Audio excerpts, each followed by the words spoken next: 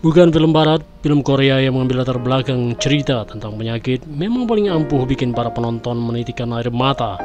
Kalau kalian suka dan sedang mencari film Korea tersedih tentang penyakit, berikut beberapa rekomendasi terbaik yang Apadoda Channel akan tayangkan. Semoga kalian terhibur dan check it out. One Day Film ini adalah film Korea sedih tahun 2017 yang bercerita tentang penyakit atau koma yang dialami oleh salah satu karakter dalam film ini. Seorang investigator asuransi bernama Gong Su yang diperankan oleh Kim Nam Gil bertemu dengan arwah dari seorang wanita bernama Misu yang diperankan oleh Chun Woo Hee yang mengalami kecelakaan mobil. Pertemuannya pertama kali di rumah sakit dan hanya Gang Su yang dapat melihat perempuan itu. Miso meminta Gang Su untuk melakukan satu hal dan hanya dia yang bisa melakukannya. Permintaan apa yang diinginkan Miso? Dan apakah ia akhirnya sadar dari koma?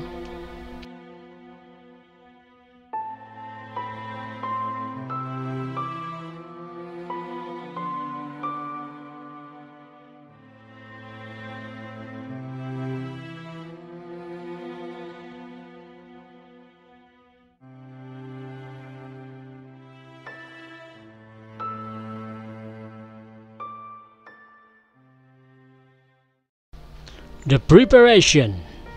Kematian adalah suatu hal yang pasti dan mutlak dalam kehidupan.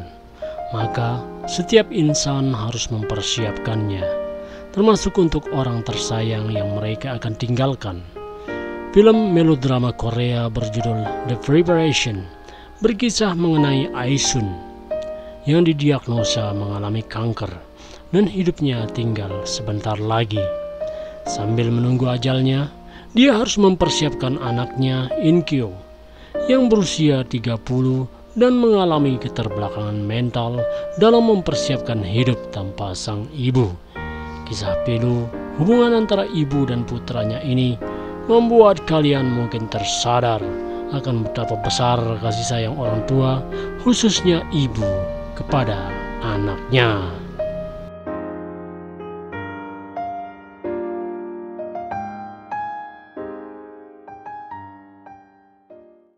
My Annoying Brother Film Korea tersedih selanjutnya adalah My Annoying Brother yang menceritakan kisah sedih hubungan kakak beradik Dusik dan Duyong. Dusik akhirnya bisa keluar dari penjara dengan alasan untuk menjaga adiknya yang buta akibat insiden pada perlombaan judo. Apalagi dikisahkan kedua orang tua mereka sudah tiada. Tak disangka ternyata Dusik justru hanya memanfaatkan uang warisan orang tuanya untuk kesenangannya sendiri. Duyong yang buta terus mengalami stres dan kehilangan semangat hidup. Hingga suatu hari Dusik diketahui memiliki penyakit parah. Penyakit itulah yang nantinya menjadi titik balik hubungan kedua bersaudara ini.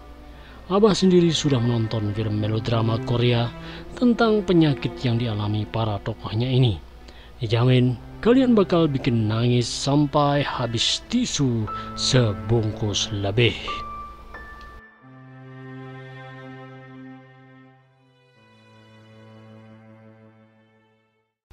My Brilliant Life Film melodrama terbaik selanjutnya adalah My Brilliant Life Buat kalian yang lagi cari rekomendasi film Korea sedih keluarga atau tentang penyakit, Mira dan Daisu adalah orang tua dari Arum, remaja yang mengidap penyakit langka bernama Proregia Syndrome. Penyakit ini membuat Arum memiliki tampilan seperti kakek berusia 80 tahun, padahal usianya baru 16 tahun. Penyakit ini membuat keluarganya mendapat banyak sentimen negatif. Suatu hari, Erim didiagnosa tidak memiliki sisa hidup yang lama. Kedua orang tuanya terus berjuang untuk mengobati Erim. Apakah dia akan sembuh? Tonton saja, ya.